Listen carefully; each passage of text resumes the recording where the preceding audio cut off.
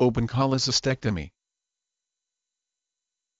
Open cholecystectomy, surgery in which the abdomen is open to permit cholecystectomy, removal of the gallbladder. This operation has been employed for over 100 years and is a safe and effective method for treating symptomatic gallstones, ones that are causing significant symptoms. At surgery, direct visualization and palpation of the gallbladder, bile duct, cystic duct, and blood vessels allow safe and accurate dissection and removal of the gallbladder. Intraoperative cholangiography has been variably used as an adjunct to this operation. The rate of common bile duct exploration for choledocholithiasis gallstones in the bile duct varies from 3% in series of patients having elective operations to 21% in series that include all patients. Major complications of open cholecystectomy are infrequent and include common duct injury, bleeding, biloma, and infections. Open cholecystectomy is the standard against which other treatments must be compared and remains a safe surgical alternative. See also,